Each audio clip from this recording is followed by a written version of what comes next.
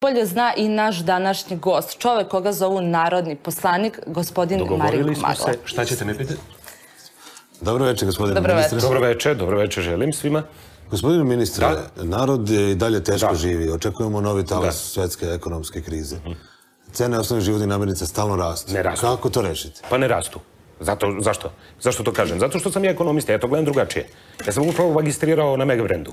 Vi morate shvatiti da ako imamo jednu efektivu, jednu gomilu, koja ide stalno, levo-desno, jedan štrpne, drugi štrpne, treći doda, četvrti štrpne, peti štrpne, i neko uzme, neko doda, neko doda, ali to je proračun, to, to je jedna gomila velika koja se evo, Da ne razumete, jel tako? Evo objasnit ću vam plastično i vama i gledalcima. Ako imamo dva prijatelja, Medu i Zeku, i oni šetaju šumom, Meda može da pojede svašta, ima onaj burak veliki, stavlja u njega svašta. Uzme drvo, uzme krušku, one velike lepe kruške jede kao kod nas u Pirotu, dole što rastu slatke kruške, razumete, taj narod se ubi dole da napravi te kruške. Ali- Ili, a Zeka neće, Zeka bira, hoće malo s ove travice, s one travice. Kažeš, pa Meda je više pojeo. Pa možda i nije. Možda je Zeka pojeo više, možda je Zeka pojeo, razumeš, neku detelinu koja ima četiri liste, razumeš?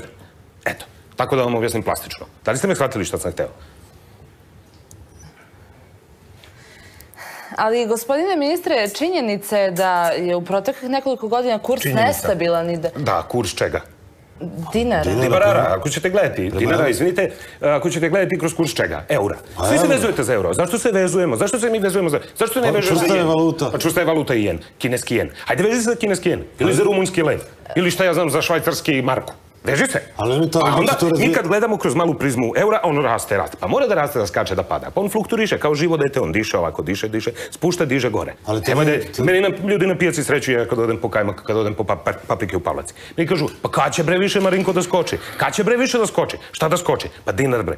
Pa ja im kažem, pa zašto? Koliko ti dobiješ sada za, za 10 maraka? Pa, oko hiljadu...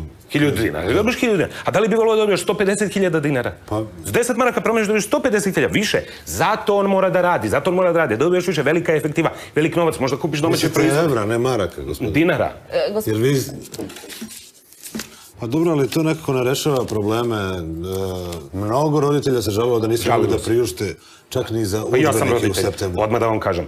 Pa ja imam dva školarca. Razumete? Pa moj sin na Oxfordu, pa ko to plaća? Sve iz mog džepa, pa ne raste na drvetu. Ne raste meni na drvetu, pa ja moram da uzmem nekud. A on hoće da izađe, hoće da se provede, hoće da se, se fare, hoće s prijateljima da popije, razumeš?